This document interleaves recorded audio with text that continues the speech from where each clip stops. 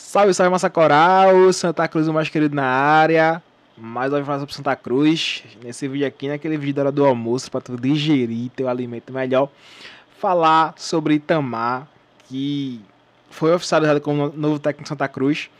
E falou, né? Deu suas primeiras palavras, além daquele vídeo que a gente já mostrou no vídeo da manhã aí, dele dizendo que tá fechado e tal. Falou sobre contratações, falou qual o motivo dele vir pro Santa Cruz disse que é um contrato maior e tal. E falou algumas coisas, né, importantes. Disse que tem experiência em treinar times de sem divisão, como Santa Cruz está. A gente vai mostrar o áudio completo aqui para vocês. Mas antes de começar, a gente pede que vocês nos ajudem a chegar aos 18 mil inscritos. Estamos com quase 17.500. Então, quem não for inscrito no canal ainda, se inscreve no canal, dá o like no vídeo, ativa o sininho para receber todo o vídeo automaticamente. A inscrição de vocês é extremamente importante para a gente continuar crescendo e trazendo conteúdo diário aqui sobre o Santa Cruz Futebol Clube. E é isso. Vamos embora aqui direto ao assunto, né? Falar sobre Itamar. Itamar deu suas primeiras palavras, assim, falando já como técnico do clube mesmo, né? Disse que. É, explicou o motivo pelo acerto, né? Disse que o contrato com Azures lá era apenas para o Campeonato Paranaense e o contrato com Santa Cruz é de um ano. Eu não entendo esse contrato de um ano do Santa Cruz, porque o Santa Cruz nem divisão tem também. Então, é, a gente joga até abril, vai ficar até dezembro pagando salário de Itamar, mesmo sem jogar. Isso é que eu não entendi muito bem. O Santa Cruz fez aí meio esse contrato longo aí para trazer ele aí, para amarrar ele para ele vir e fechou aí, né? Falou também sobre a experiência em treinar time sem divisão, né? Falou sobre o Concórdia lá que ele treinou que o time não tinha divisão, o time não podia cair para a segunda divisão estadual, o time tinha que conseguir vagar para a Série D, a mesma situação do Santa Cruz, né? Diz que tem experiência, porém a pressão aqui é muito maior, né? O Concórdia não tem que torcida como a gente tem e a pressão aqui é, é, grande, né? Ele, ele, ele sentiu isso na pele da última vez que esteve aqui, que a torcida botou pressão nele também, né? Em algumas situações, em alguns momentos. E a pressão aqui é grande. Falou também sobre a cidade dele que tá, tá alagada, e disse que quer dar uma segurança maior à família dele com um contrato maior, vai trazer a família toda, toda dele para aqui para Recife, né? E tem aí um, um um contrato certo aí de um ano com Santa Cruz. E falou sobre contratações, falou sobre o Salles, né? O Francisco Salles falou sobre contratações, disse que não tem nenhum nome na mesa ainda. Vocês vão ver aí tudo que ele falou, né? Ouçam o áudio completo aí do Itamar, agora na Rádio Clube pela manhã com o Jorge Soares. Escutem aí. É isso, tamo junto a nós. Valeu! Itamachule ficou com água até o gogó em sua residência após a última enchente em sua cidade. E também falou para a Rádio Clube sobre os contatos mantidos com o presidente do Azures para a sua liberação. O presidente do Azures depois me, me, me passou um áudio né, dizendo que estava tinha recebido e tal, e, e aí eu estava liberado para acertar, e daí foi a hora que eu acabamos acertando aí a, a minha volta para ir, para ir para Santa Cruz. Olha, na realidade agora eu vou, eu, eu, vou, eu vou sozinho, devo chegar aí, porque eu estou em enchente aqui, a minha cidade aqui está debaixo de água, a minha casa também, na cidade de Rio do Sul, Santa Catarina. Então aqui está um. choveu como nunca choveu aí na, na história, tanta chuva uma vez só. Então a cidade está debaixo da água, todo, toda a região aqui. Então eu estou esperando baixar água para organizar a volta da minha família para casa, mas eu devo estar tá chegando aí, creio que quinta-feira. E no momento eu vou, vou só, e aí junto com a, com a diretoria aí eu vou organizar quem, quem vai, vai fazer parte da comissão técnica. Itamachule sabe como está o momento do Santa Cruz após a permanência na Série D?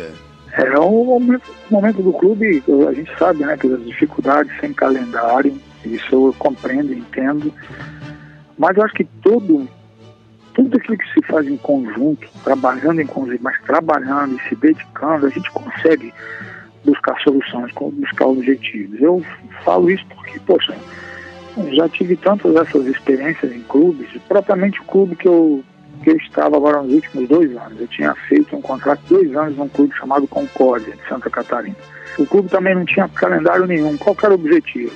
O presidente, quando me contratou, o Giba, disse para mim, Camarão, primeiro passo, nós não podemos cair, porque o Concórdia sobe cai, cai, sobe de novo, depois sobe cai de novo. Então, primeira coisa, nós não podemos cair.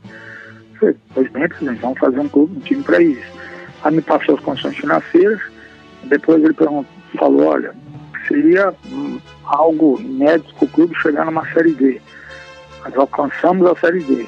E aí no próximo, no ano seguinte, nós alcançamos a Série D de novo. Agora o time se manteve o mesmo, está na final da, da Copa Santa Catarina buscando uma vaga na Copa do Brasil.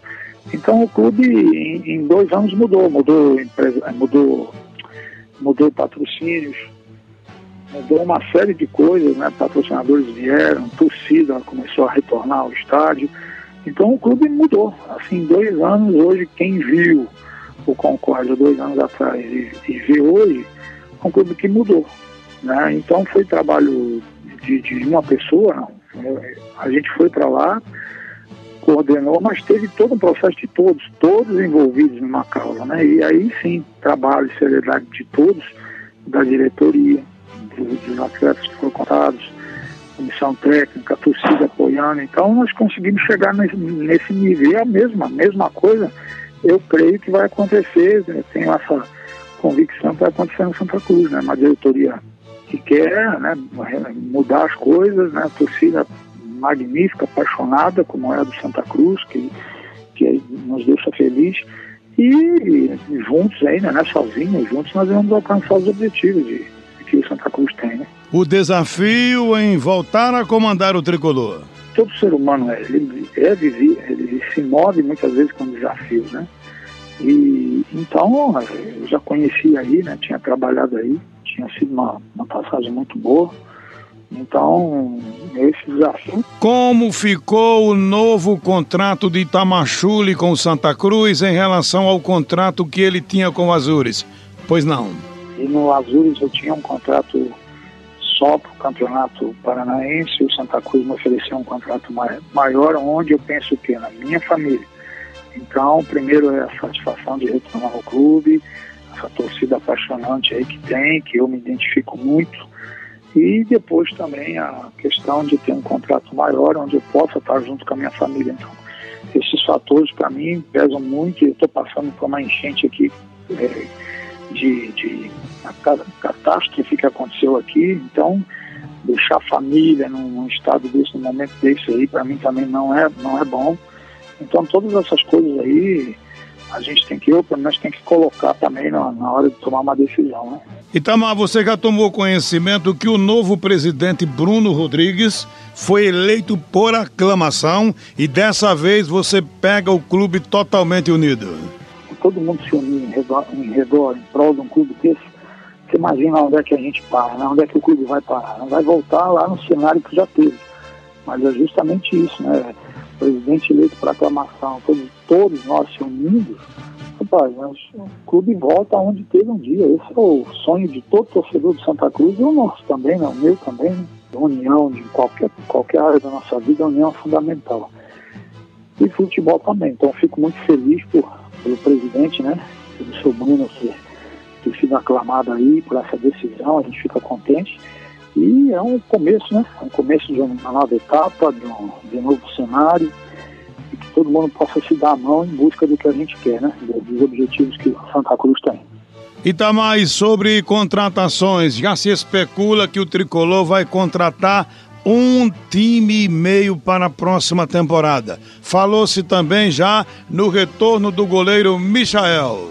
Quanto à contratação, vou ser bem sincero com você, como tem sido que você está me perguntando.